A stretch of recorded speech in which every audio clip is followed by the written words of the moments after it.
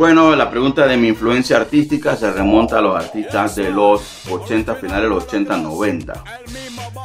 Shabba Ram fue el primer artista dancehall que pude lograr ver y me impresionó.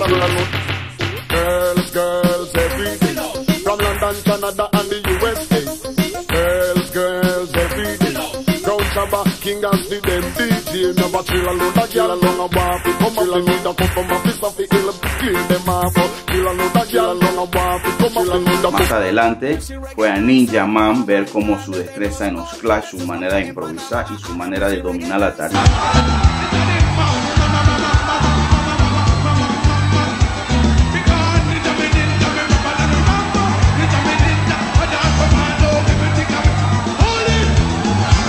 Estas dos fueron principalmente mis influencias musicales. En el rap me gustó mucho eh, la influencia de Snoop Dogg y del pequeño dúo Chris jump.